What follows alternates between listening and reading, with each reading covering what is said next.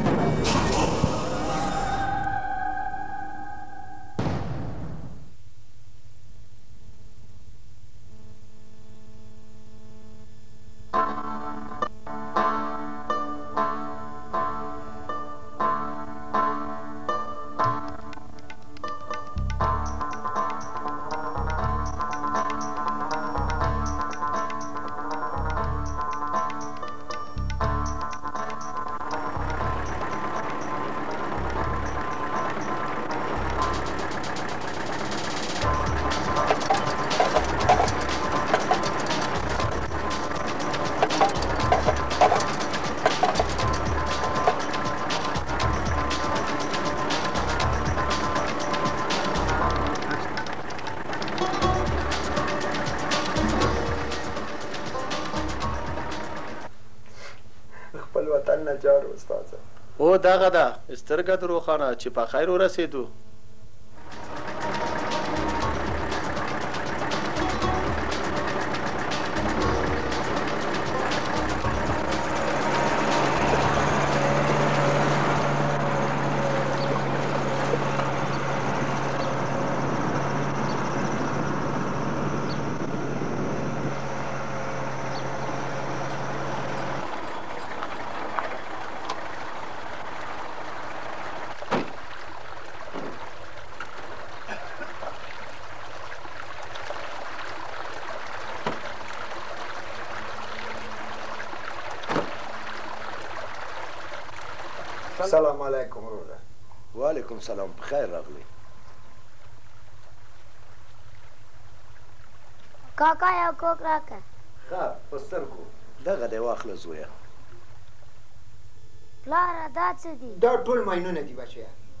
وګوره ماینونه دي مرمۍ دي او په دې به لاس نه وهئ چې ډېر خطرناک دي وګورئ دا مو چې په مځکه کې د کور په مخه کې وکتل لاس به پې نه وهئ چې تاسو نابلده سئ او دا ډېر خطرناک دي اوس وروره موږ له پورته لارې نه ولاړ شو او که کښته لارې نه دا څه قصه ده موږ خو نه پوهېږو راځه وروره چې زه لاره درته وښیم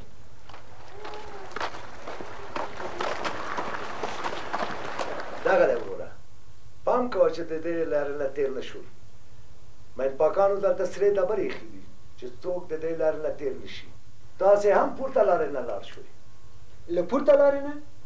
ښه ډېر ښه ډېر ښه راځه زویه چې لاړ شو د خدای په امان. سلام علیکم.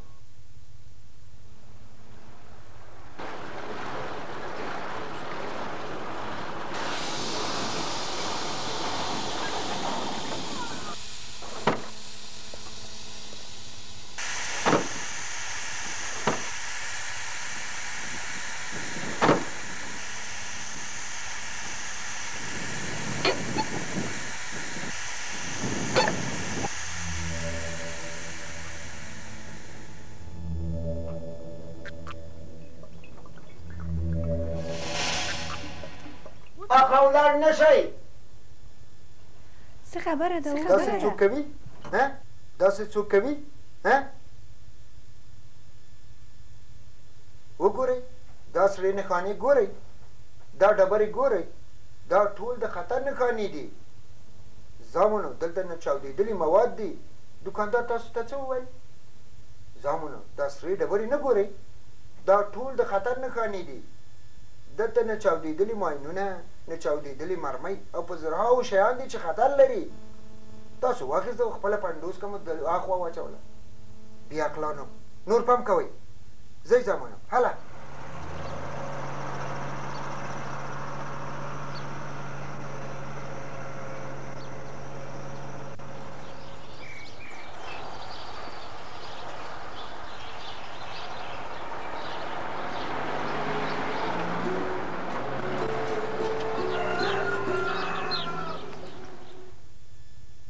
شاباس خانه سترګې مې دې روښانه یو وروره ښه ده چې په خیر راغلې السلام علیکم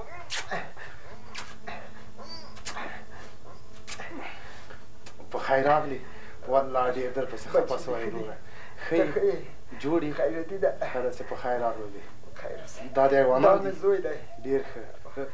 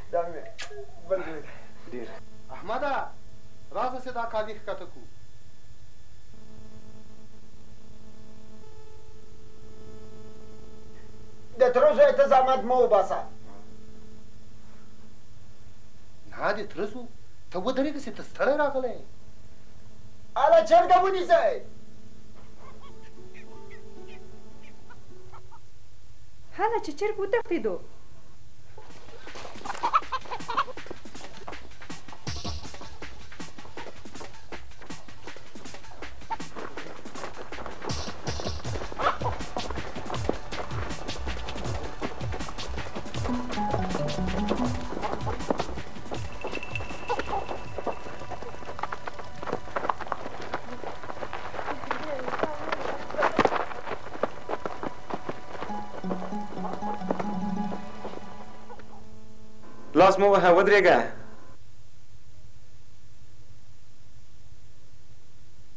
لاس مه وهه وګوره هغه وخت چې ما هم دغه شیان نه پیژندل او لاس مې پرې واهه دوه لاسونه او یو سترګه مې له لاسه ورکړه اوس چې ته هم نه پیژنې لاس مه پرې وهه او دې خواته راشه. خوشحاله سو د کاکا زو چې په خیر راغلې. نورې څکه یې دا به په همدې خپل جای پرېږدو. تر څو چې د تا کور او ایلۍ له ماینه پاکه نه سي ته تلای نه سي. ما د ماین پاکۍ موسسې ته خبر ورکړی سبا راځي ماینونه پاکوي. تر څو چې د تا د کور ماینونه پاک نه سي په همدقه کوټه کې دې ګوزاره کیږي.